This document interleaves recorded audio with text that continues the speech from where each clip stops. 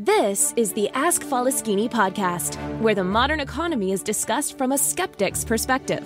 Mr. Faleskini helps you distinguish what is sustainable in our economy and what isn't. Not everything that glitters is gold, and not all mud is dirty. The podcaster Mr. Faleskini provides no nonsense advice. He had it all, lost it all, went bankrupt multiple times, and is now attempting to come back from zero with sustainable growth. There are numerous coaches and preachers on the internet that preach about positive thinking and how life is all roses if you just care to see it that way. Well, Mr. Faleskini is definitely not one of them. We recommend you ask Faleskini to keep it real.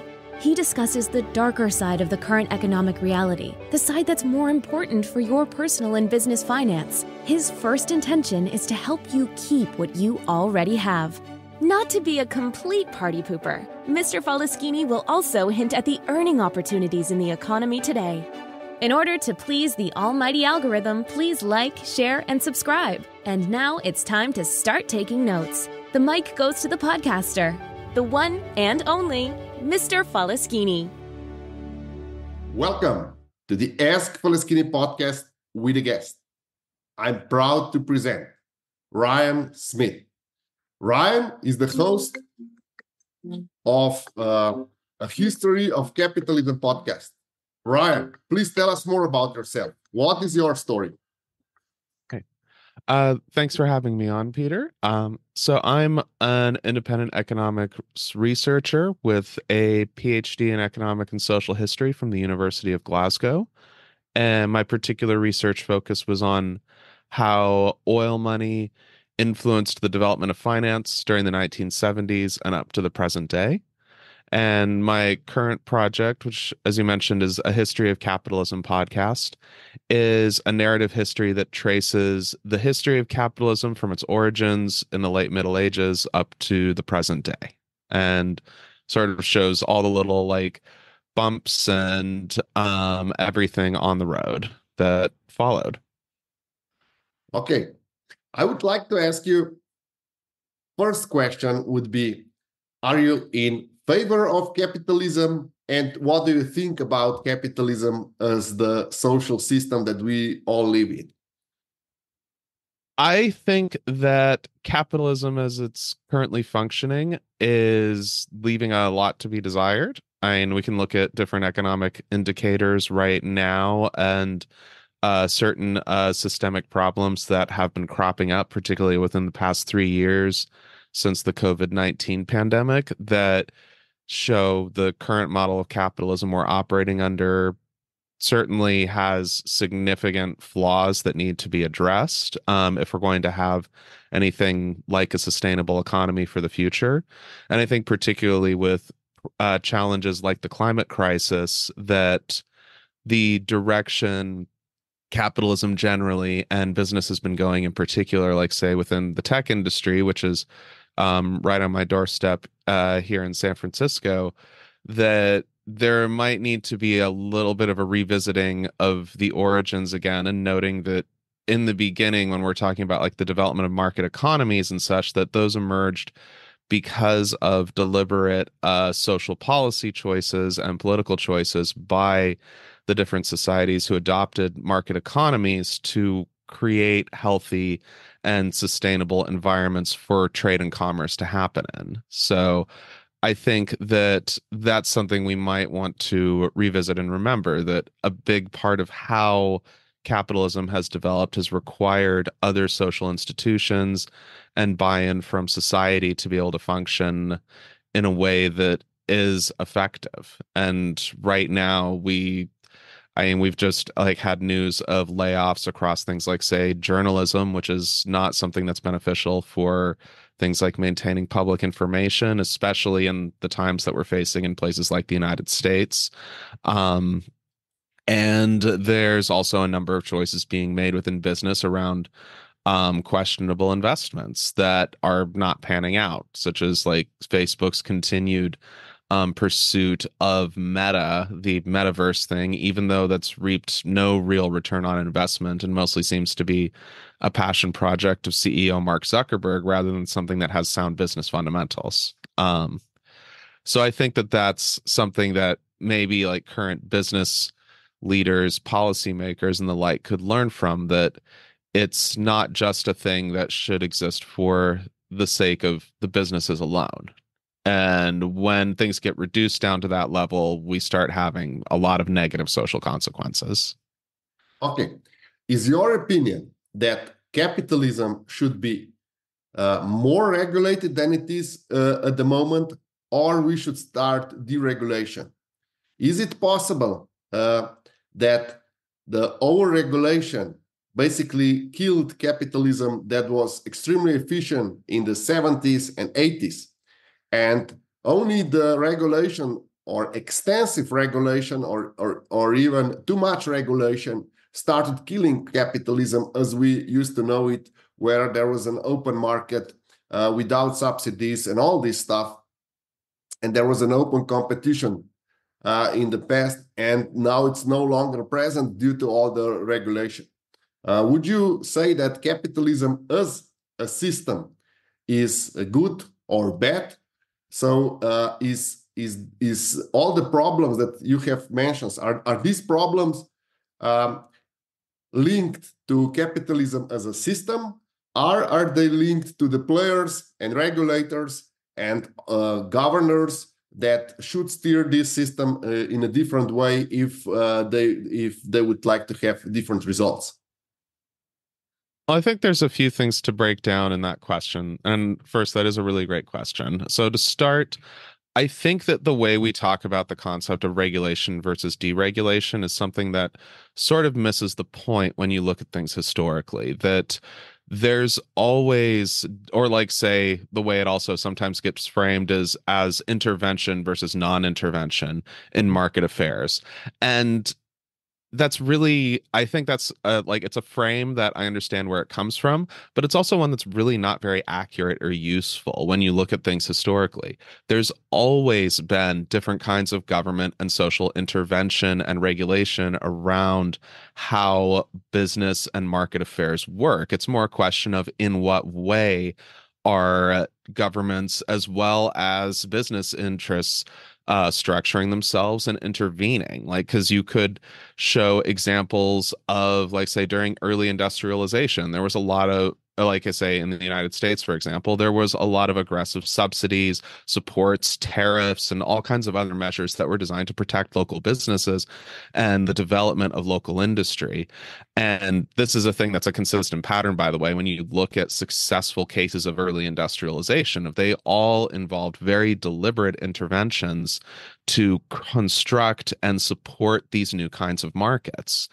And when we talk about things like regulation versus deregulation, I think a better way to look at it is more where is the regulating happening? Because if we're not having the government doing regulation of economic activities, then what you're really saying is that we're handing off the authority to make these regulations and decisions to businesses, business owners, business associations, and such, because they absolutely do engage in their own forms of regulation. Like in the late 19th century. I'm referring back to the US a lot because it's one that's, you know, I'm familiar with living here. Um, that you have the example from the late 19th century of the Gilded Age, where the government actively intervened in the form of things like sending troops to suppress like workers strikes and stuff like that and pretty much took a hands-off approach to the development of huge trusts which were like massive monopolies that effectively set the rules of the market because of how big and influential they were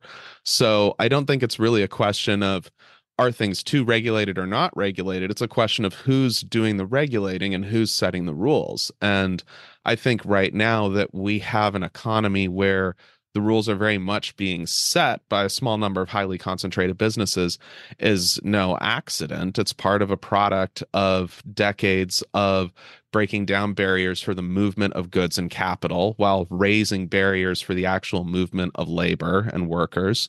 Um, the elimination of workers' protections that basically have created something of a race to the bottom in different markets for who can undermine the conditions that are necessary for creating a mass consumer economy. Because a thing we have to remember is when we go back to, like, say, the 1950s, 60s, and up to the early 1970s, that the real engine of all that growth was that there were lots of people who had disposable income that they could spend on things. Like that's how you have the emergence of the first youth market as its own thing within modern history was because there was like there were like you know the breadwinners of like families and households were making enough money that only one person had to actually go in and work and they could support their spouse and their kids. And the kids could take like a part-time job down at the local burger joint or something and make some extra money that was just purely there for whatever it was they wanted to spend it on.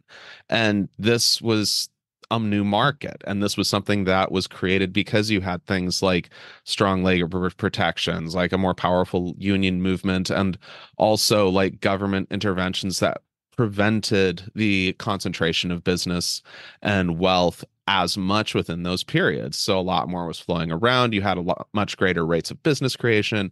Now, granted, also part of this was because of how um like global commodity flows worked at the time. Um which was you know a product again of like earlier business structures. Like say within the oil industry you had the price of oil stayed nice and flat for about two decades and that was because 90% of oil production was dominated by seven largely british and american corporations. So they basically got to set the price and for them keeping the price low and consistent was a great way to keep the competition down.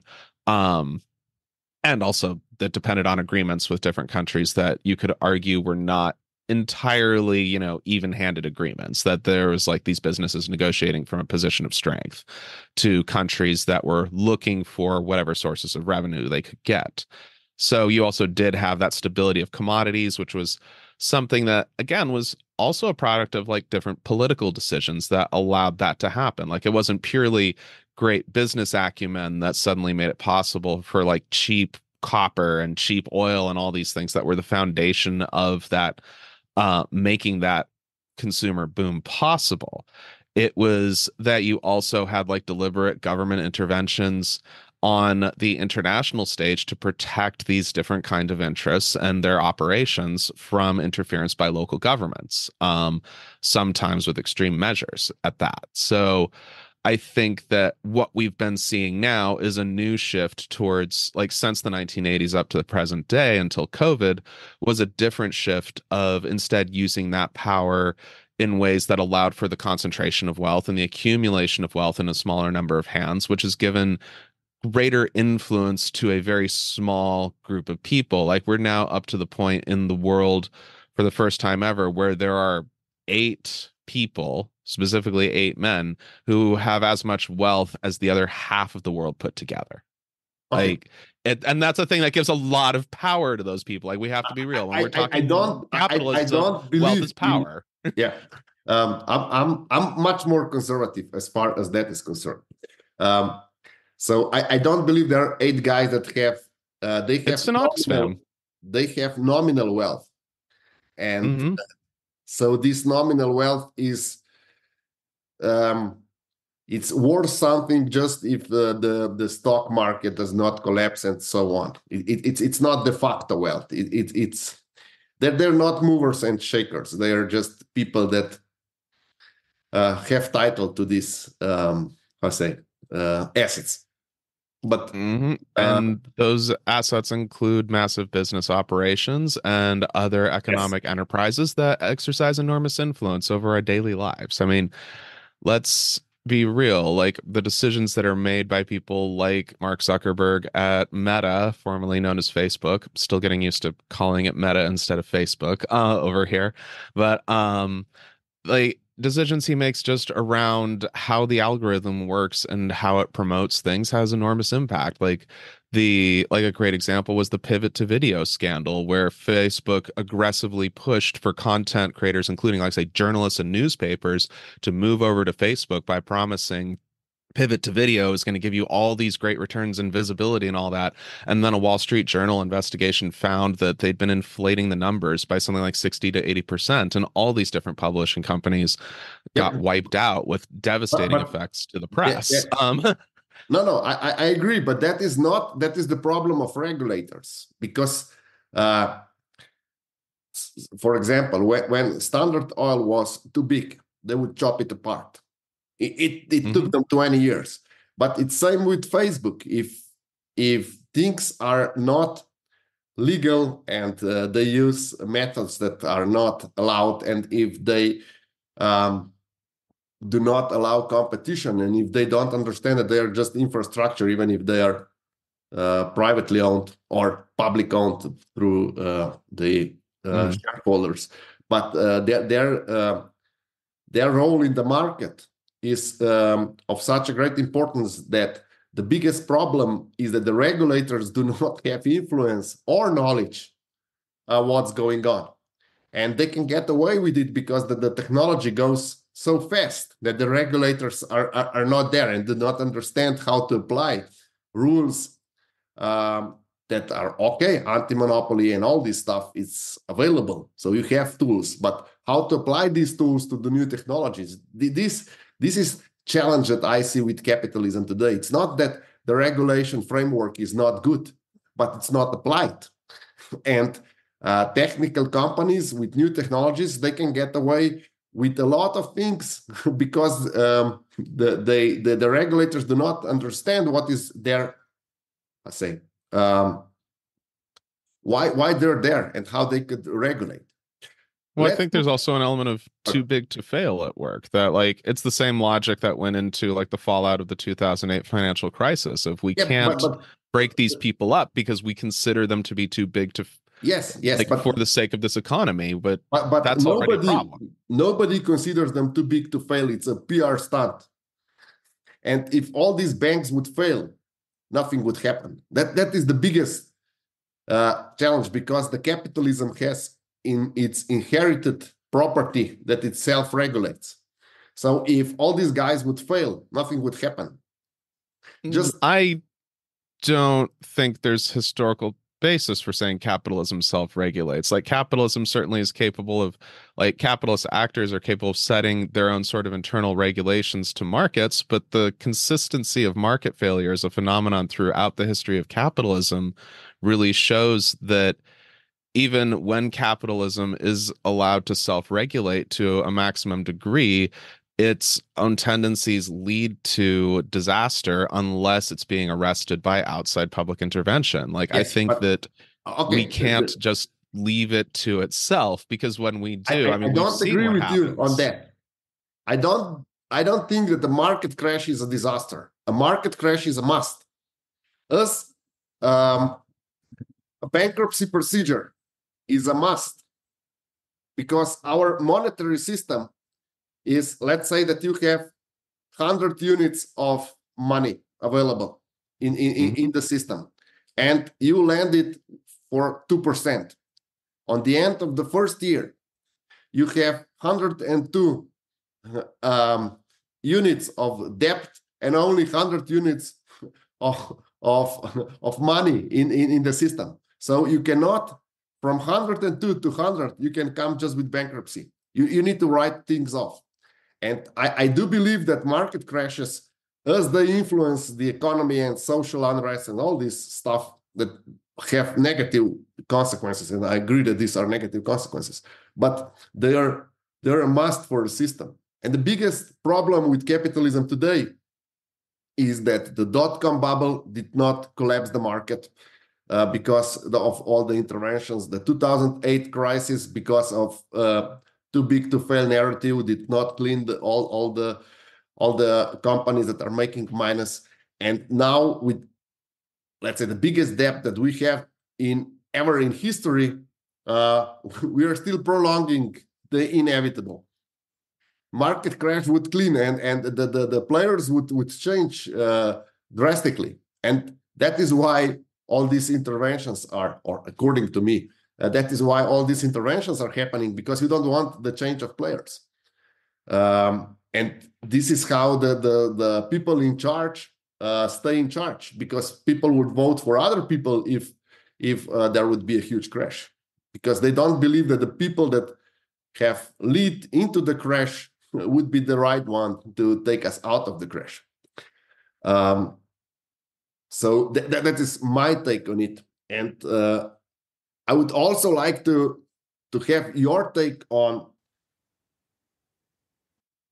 what is more. So which tools are more effective to steer the capitalism system? Are these monetary tools, issuing money and debt and all this, or, or fiscal tool that government spends more? What what are more um, efficient tools? Because right now we see all over the world, not just in US, that most of the tools are fiscal tools. So government uh, they really take care of spending and they increase their spending and they try to explain that uh, increased government spending is uh, better for the economy and its effect in in in US uh, up to 37 percent of uh, GDP is uh, based on government spending. So what's your take, monetary or uh, fiscal? What, which one is more important? I, I know that we need both uh, for for capitalism to to move forward.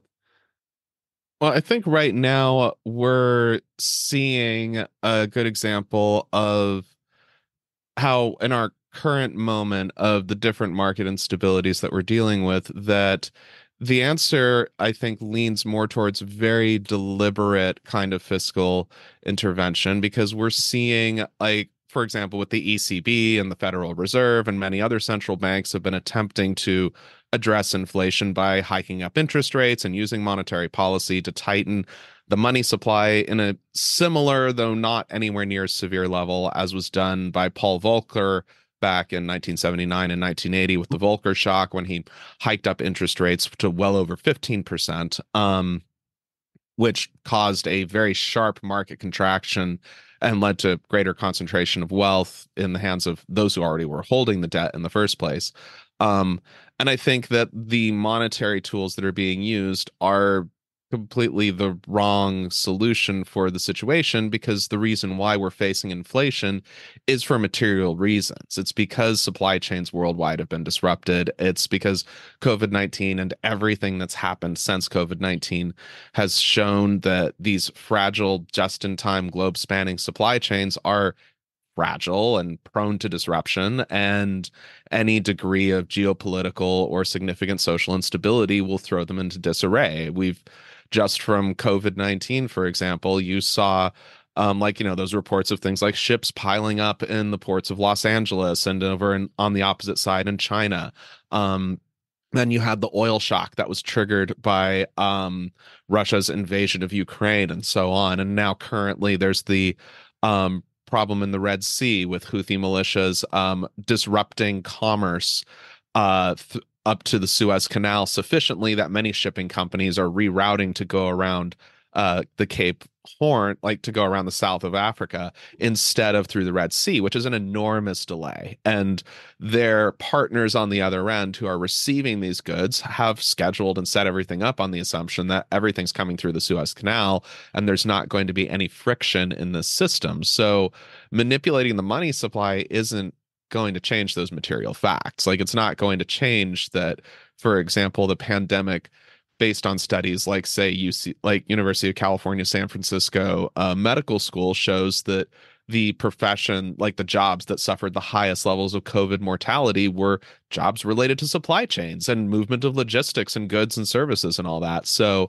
we're in a situation where i think it would require very specific investment but it, and like the thing about like the fiscal side of it like say when we're talking with the united states of america and government spending like where that spending's going is an important part of the question. It's not just that there's 37% of gdp that's government spending. It's that some of that money is going in well actually a lot of that money rather goes into things like the defense industry which doesn't produce things that add value to local economies. Like the people who work for the defense contractors and stuff certainly make good money, and that does have a positive impact for their immediate communities. But it's not the same thing as, like, say, good paying auto worker jobs who then produce cars that go out and are used by people in ways that enhance their local economies while also the auto workers are getting good money so they can go to like cafes and shops and stuff and spend their money around in their communities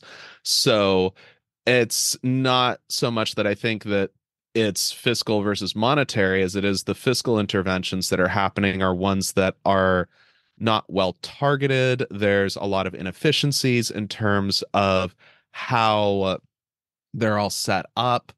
um and uh, there's also just inherent inefficiencies in terms of like getting the money from the initial expenditure to actually getting to the end point like one figure that i've seen quoted um and like you know like the american college of civil engineers for example is that it costs like between 5 and 10 times as much to build a road in the united states as it does anywhere in the european union and that's not because it's more expensive to hire American engineers or buy American parts or what have you. It's because there's lots of levels of markup um, that happen between here's the expenditure by, like, say, your local city government, and when it actually gets to filling in potholes and fixing roads and such. So there is like there's a lot of deeper problems that are at work and i think that requires um a revisiting of how this investment happens, but it's not necessarily that we do monetary or fiscal because we're seeing monetary is not working. Like the ECB and the Federal Reserve have recently announced they're backing off on their aggressive interest rate hikes because I think they looked at the numbers and uh, they went, oh, like this is a material problem. We can't solve this by tightening the money supply. And all this is doing is I would argue it actually probably made things needlessly worse because when you're in a situation where you need more investment because that's the thing that really needed to happen for addressing these different supply chain problems was not let's make it harder to lend and get credit the answer should have been let's find ways to stimulate and accelerate the localizing of supply chains. Let's find ways to shorten these connections and make it easier to move goods and services instead of making it harder to overhaul infrastructure that's already overstressed and doesn't have sufficient supports to do the job it needs to do. Like it was sort of like I feel like what they did was they looked at the example of the late 1970s and they drew the wrong lesson from those times because the circumstances were different. Like it was a much more specific set of causes then. Would you agree that the biggest problem, my thesis is that the biggest problem is that the knowledge globally is limited? And now you have more uh, demand for knowledge than that you have educated people, especially with know-how and experiences. And it's the same problem. People that uh, decided on politics in the 70s are all retired now. Mm-hmm. And uh, people that could, even if they were uh, starting in the 70s, they, they would be probably retired because it's uh, like almost 50 years from there. And mm-hmm. um, so nobody nobody works anymore. Nobody has firsthand experiences uh, and does not remember what were the KPIs that they use at that time to decide.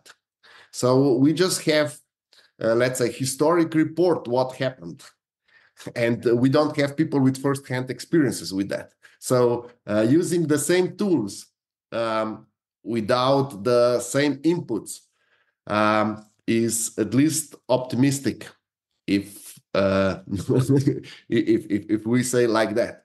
Uh, what I would like to go back to is if knowledge is limited and that um, knowledge is an asset that cannot be uh, produced fast because you need people to go to school and uh, then after school they need experiences how is possible uh, to handle this uh, incredible expansion especially in the monetary uh, sense because there's more and more money in the, in, in the system.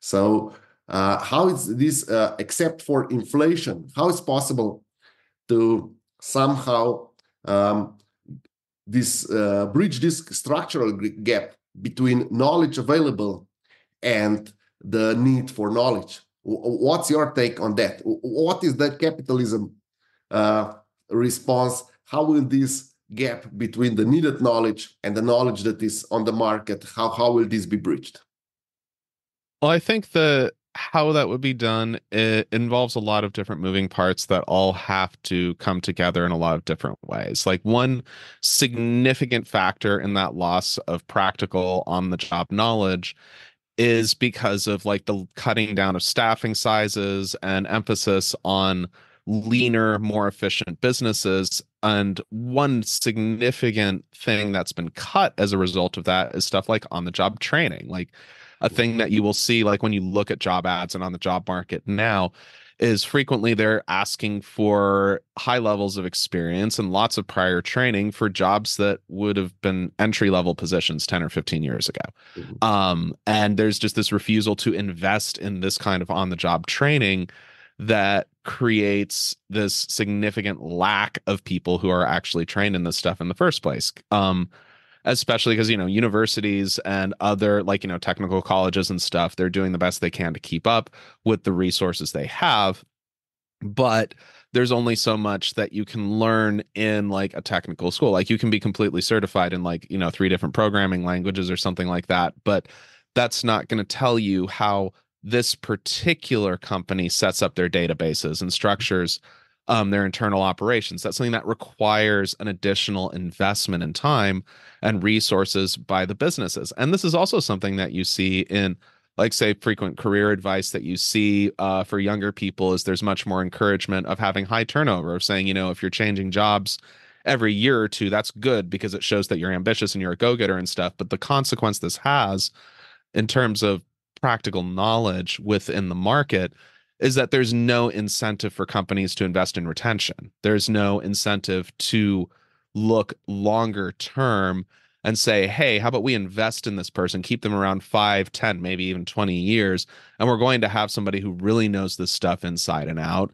has a wealth of knowledge they can pass on to the next generation of workers and continue the cycle. And this, by the way, was what the model was from like the 1940s to the 1970s of it was much more in the direction of like you uh, like you sign up with a particular company like it could be IBM or General Motors or whoever it was and that was going to be your job for life. There was going to be opportunities for internal advancement. There was opportunities for training and like on the job improvement and you would be supported and like receive benefits and such along the way. So there was a different structure on the job market, unlike the business side of employees are an investment. They're an asset to be cultivated. Whereas now it's there's a much greater tendency of looking at like the recent like rounds of cuts and layoffs that have had been happening in tech the tech industry is sort of an example of the opposite mentality which prevails now of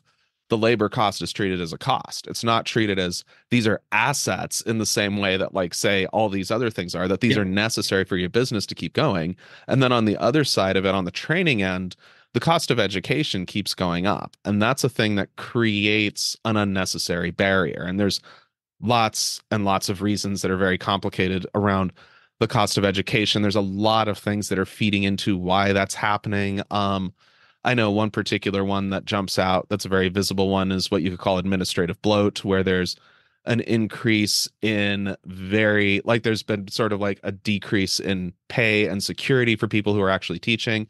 So there's no incentive for people to go into um, education and academia in the first place, which is a problem because historically, like when we're we go back a few decades, there was a goal of if these jobs in like you know for example the position of adjunct faculty was something that originally started as a way of saying hey we need someone who is a skilled professional out in the market to come in and teach this class. So let's have this particular kind of position where they come in and they teach like one or two classes or something. They don't take on a full load.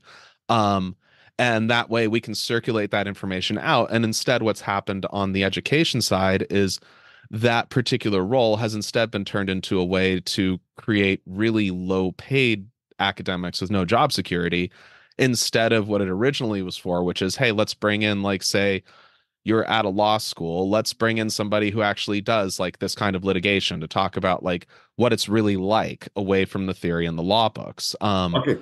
So that's like it is a problem on both ends of things are too expensive and the like education's become casualized and then on the business side there isn't investment in training and retention. Yeah the, i would say that the biggest problem we now face is uh, same with all these companies uh, they they they look uh, too short term because the average company that is on any of uh, indexes uh, in in US uh, makes less dividend or yeah it pays out less dividend compared to the the value of the share that it did like 40 years ago So it, it means that the profitability has actually dropped. And all this um, hiring new people and pushing them to do a job uh, uh, cheaper and all this stuff uh, has a significant negative effect if we look cross border and all these ESG and other movements uh, they they don't contribute to anything because the ESG movement right now it, it it's just an, another burden for companies to keep uh, a score of something that is um, basically useless for them. And it, they, they do not encourage them to treat people differently for example that, that that would encourage social scoring and said okay if you have uh, higher workers retention that would improve your scoring. Uh, your score, ESG score, improves if uh, you pay for team building, and and that is the the biggest problem because everything is fast food, and uh, nobody nobody takes time to prepare their food, and it's same. It's everything is speed dating. It used to be employment was like marriage. You, as you mentioned, you went to one company and there was a, a huge chance that you will uh, stay with the company until you retire. So, like 30, even 40 years, you could work for the same company, and they had some kind of plan because of your seniority level increase, you would get a higher paycheck, um, and all this stuff. And and and now, uh, despite so-called advancement in HR we have much better uh, uh, so we have much better methods. We understand uh, people much better. We have all this neuroscience. We have everything. We have neurofeedback right now. We have people with smart watches and employee uh, working uh, so uh, checking their, their, their people how how they are working what's going on with their heartbeat but in the end um, there, there, there there's no more no more um, there's not no advancement. Basically the whole advancement for the last 40 years went in the wrong direction. And who's here what needs to happen that we would go back to as you said where one person could have a decent job and their spouse would not need to work and their uh, kids could go to college and uh, they would just uh, have a job at the local bar or so uh, to have some money to spend on on, on going out and uh, not needing for survival. And right now we have two parents working, and the kids need to work just to to pay the bills. Well, uh, I think that how we get back to that is, well, I mean, per, first, I think part of it is that we're I mean, you can't really unring the bell, so to speak. What's happened has happened. And what like part of what we also do have to appreciate is part of what made those conditions possible were the very specific historical conditions that existed at the time like the united states um because you see this in particularly american politics of politicians on both sides of the aisle talking up the glory days of the 1950s and talking up different aspects of what they want to emphasize like depending on who you ask um and like you know like because you'll get like folks on the right who talk about well it was great because we kept all the immigrants out whereas you get folks that are on the left that are talking more about like things like high marginal tax rates and labor unions and stuff like that and i think that uh, granted i think like the anti-immigration answer is not an answer because that's never really been an answer that works but um i think that what both of these things miss somewhat is this was also happening in an environment where in the United States, the US had just come out of the Second World War as the biggest holder of sovereign debt and things like gold and the biggest, like, hands down, the largest industrial economy on the planet because every other industrial economy had been bombed flat, invaded, or otherwise had like massive material destruction.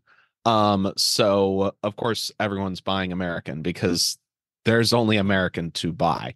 Um, and then this also was a significant engine for new economic growth and uh production because you have to rebuild all these different economic like different economies like you have like you know in france the troisième année the 30 glorious years or um the Wirtschaftswunder of germany like the miracle on the rhine and all these other examples of enormous sustained economic growth that was partly because of these particular trading dynamics and also because there was a lot of room for necessary growth because you're rebuilding and recovering and reestablishing your industrial plant. So there was a lot of possibility. And there's also you know new growth in south america all kinds of stuff. But anyway the point is is that it was a very specific set of historical conditions that existed which allowed for that. Whereas now what we have is much more of a problem of that there's a lot of infrastructure that has deteriorated and degraded. We have the challenges of climate change and what that means for things like energy production, and that we have to look at different forms of producing energy.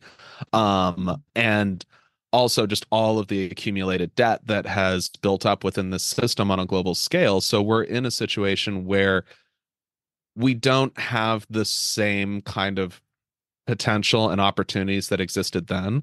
But there is also if you can cut through like you know the fat so to speak there's a lot of opportunity for developing like redeveloping these different like developed economies and what have you that can lead to a similar kind of boom going into the future. Like there's been studies about how building green energy could produce um, something like just in the US something like 15 million new jobs just from that industry alone before going into secondary and indirect impacts. So there is possibility, but it's going to require cutting through a lot of stuff. It's also going to require um, putting incentives back in place that encourage retention of workers and training and development of workers and an appreciation of like, you know, for example, if we're going to compare like say General Motors before they started, you know, shrinking down their workforce versus after that like what that means in terms of human knowledge which you brought up before is enormous. Because when you look at like say if you have employees that have been there 10 20 30 years stuff like that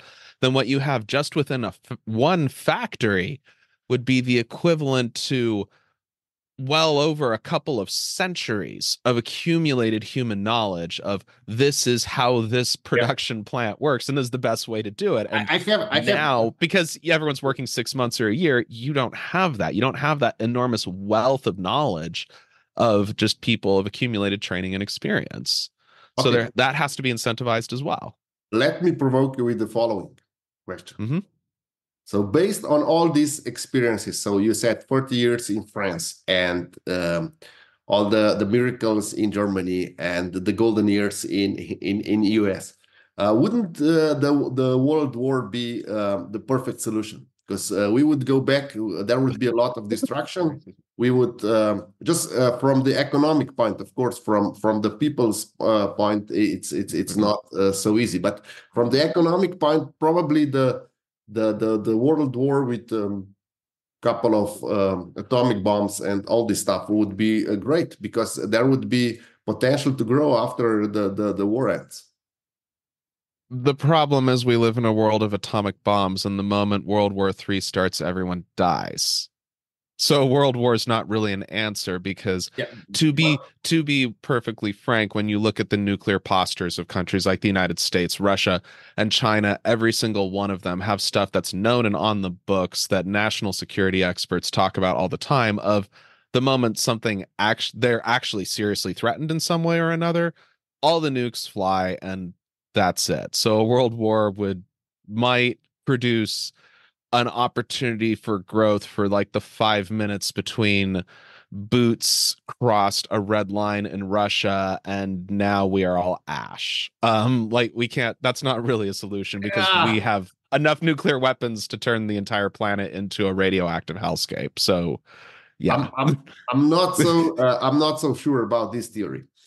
Uh and especially if you uh, if you check uh, Hiroshima and Nagasaki um the next day the just the backhoe loader started and and the, they rebuilt. So Hiroshima and Nagasaki were also hit with warheads that were orders of magnitude less powerful than what currently sits in silos yeah, in the Dakotas. Um, yeah, true, but they started. they started. They started the next day. Backhoe loader started, and uh, if you go there uh, today, it's okay. Uh, so there, there so there might be uh, something to this theory or might not so i'm, I'm not so uh, sure however I, um, let's say that it would be a non-nuclear war, that so that you will be more at peace. Uh, would this distraction uh, in just theoretically economic uh, theory uh, would help capitalism uh, regain their ground and uh, nope. put every, every, everyone back in prosperity? And the reason why is because when you are looking at the circumstances in the Second World War, because of things like the pre existing Great Depression and other things, you had a lot of economies that had been spending a significant amount of time de- decoupling from global trade and seeing local production. Um, not I wouldn't say necessarily more encouraged, but you know, that was sort of the tendency that already existed. And you didn't have the same system of globe spanning supply chains. Whereas if, say, the United States and China were to get into a shooting war over the Taiwan Straits, both countries' economies would probably collapse within a quarter because of how much they depend on each other for trade. Mm-hmm. Like the degree to which production has been globalized means that a general war would if it didn't go nuclear somehow um would unravel capitalism as we know it. The like I mean, just we can just look at Fukushima, for example, like go back to like the case of the Fukushima earthquake, where as a direct consequence of that, there were several auto production auto part production plants rather in Japan that were forced to shut down because you know earthquake nuclear meltdown tsunami you know understandable reasons that you have to stop production and it caused the entire global auto industry to nosedive because of how critical those particular plants were for parts production on a global scale. And that's just one one natural disaster in one place. If you're talking the kind of disruption that would happen from war on a global scale then within 3 months things like chip production and advanced like fabrication and just so many things that we take for granted in modern that, economics system, would grind to a halt. Like it wouldn't work. Don't you think that the system is flexible enough that uh, the local uh, production could restore and uh, just some kind somehow take over? I think COVID 19 has already proven that the system is not flexible enough to do that. And COVID 19 was far less disruptive than a war would be. But like the, COVID didn't sink ships on a mass scale and destroy the ability for global shipping to work or even like we can just go to the red sea right now um like the houthi militias that are effectively clogging up the Suez Canal, it's not because they have enough munitions and means to sink every single ship that passes by the Gulf of Aden. It's because they have enough that most shipping companies, and particularly the insurers for shipping companies, are not prepared to take that risk. And that's not anywhere near the scale of what would happen if there was like a shooting war between any like major military power like that's just like okay. a group of local militias with like some simple anti-ship missiles and they've been able to clog up one of the most important arteries of trade on a global scale. What happens when you have someone who actually has some weight to throw around? Like it would I mean, just imagine, for example, if Iran said tomorrow, "Hey, guess what? We're not letting uh, oil shipping go out of the Persian Gulf." Like the price of oil would be like skyrocket and everything would halt. Like just that by itself. Now you do it everywhere. Like global capitalism as it currently works would not be able to handle that kind of a crisis. It barely handled the COVID crisis. Okay. We we discussed all the macroeconomics. Let's go into microeconomics for our listeners. Mm-hmm. How should they prepare? How should a small business owner prepare for any of the just mentioned economic shocks. How can someone prepare for the event that uh, oil goes to 300 400 uh, dollars per barrel?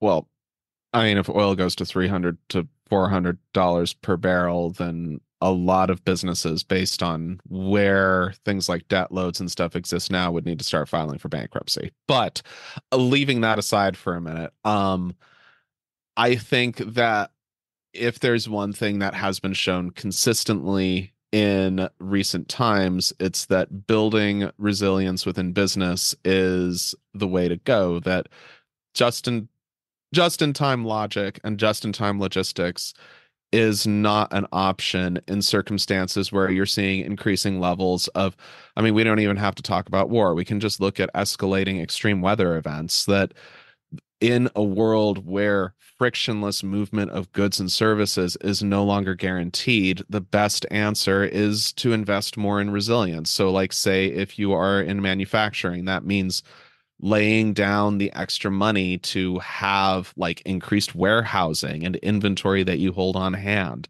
Um, if it's like a service based business, then you need to find ways to pivot more towards orienting your business towards people that are in your local community and less towards, like, say, the tourist and business trade, for example. Um, like, that's a thing that's a challenge that's happening right now in San Francisco of the downtown core has basically been completely gutted by a combination of um tech industry layoffs, um, the tech like working from home becoming a much more significant thing, um, and you know over a decade of city policy assuming all these big businesses means all these people that are going to be downtown spending their money. Well, now those people aren't downtown spending their money, and all those businesses that existed to depend on that are now having to close up shop. So it means finding ways to orient more towards more stable sources of income and away from those kind of single big ticket items. Like, I guess you could say, to use like an agricultural metaphor, for example, less monoculture, more diverse range of growing and cultivation, that you don't put all your eggs in one basket and you find ways to also uh, like work with local communities and see what their needs are. Like it needs to be something that's much more of a move back towards, you know, valuing your like long-term customer base and cultivating those relationships and building that resilience because, you know, the move fast and break things mentality has moved fast and it has now broken most of the things that we need for sustainable market relations to be possible. Um, Thank you, Ryan. Thank you for all these insights where can our listeners uh, reach you or listen to uh, uh, your podcast? So you can find uh, out more about me and my team at stolenfiremedia.com. Um, and you can also uh, find a history of capitalism. We're going to be coming back with uh, some new episodes continuing into the early days of capitalism. So we're still quite a bit away from now, but we are working our way up to the present day. It's just, you know, when you're covering 500 some odd years of history, it takes a minute to do that. But uh, we are, you can find us on anywhere you get your podcasts. So, you know, Spotify, Spreaker, Apple, um, wherever it is that you tune in to get your audio feed. Um, you can find us. Okay. I will include the links uh, to your podcast in the description below. And uh, thank you, Ryan. Thank you for all the insights.